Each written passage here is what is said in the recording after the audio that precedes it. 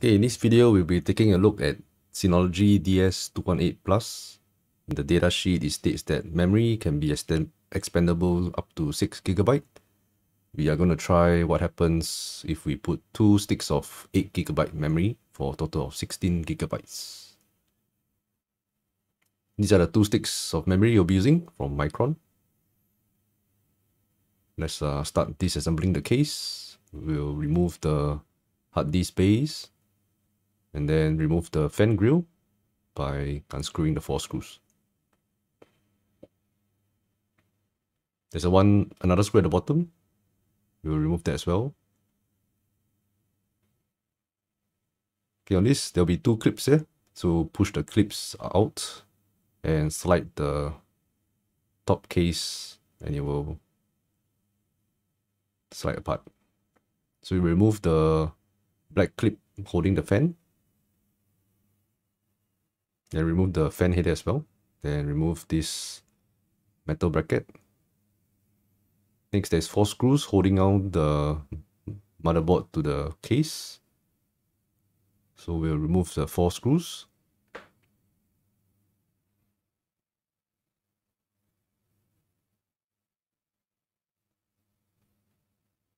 Okay, next we'll be wriggling the motherboard out. So watch for the USB port from that side. And on the other side, just wriggle it out and it should dislodge from the casing.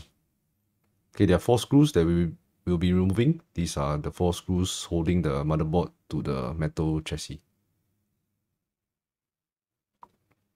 Okay, once that's removed, watch the PCIe slot that's holding the SATA connectors.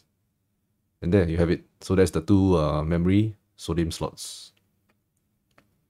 So once you push the two clips apart, the RAM would slide up. So to insert the new memory, you insert it from an angle, and once it's fully in, you can uh, press it down. So when the two side clips are snug, then we are good.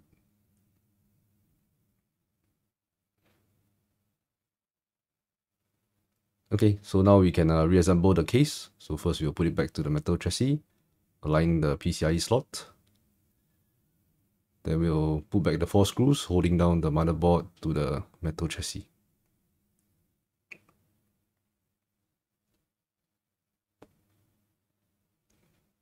We flip it around. Next, we'll put it back into the case. So let's make sure the ports connectors are aligned. Then let's make sure the ports are aligned to the plastic case.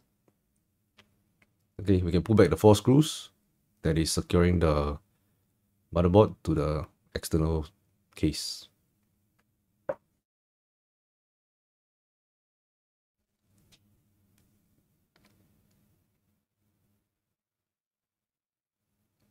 Just uh, tighten it to snug because if it's loose, the case will rattle. Okay, so you put back the metal piece here.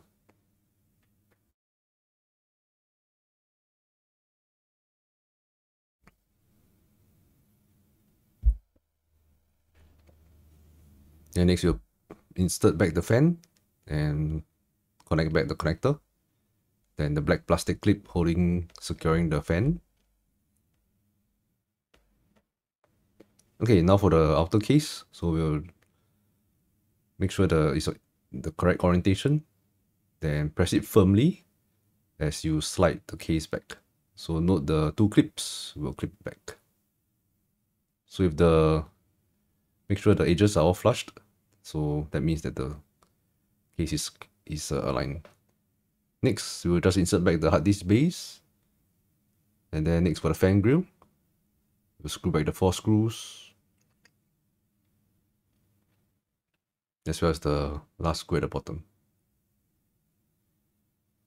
Okay, we are ready to power up the system. So put in the power input as well as the LAN cable and then press the on button. Go to the IP and then log in using your user ID, user ID and password. Go to the control panel. Here we see that the memory is detected 16 gig.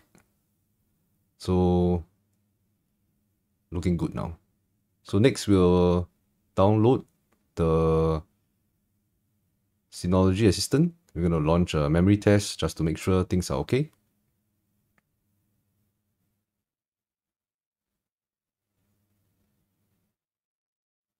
Okay, so we'll click the settings and then enable the memory test and then select the DS server that you want to run the memory test. Then the DS will start rebooting.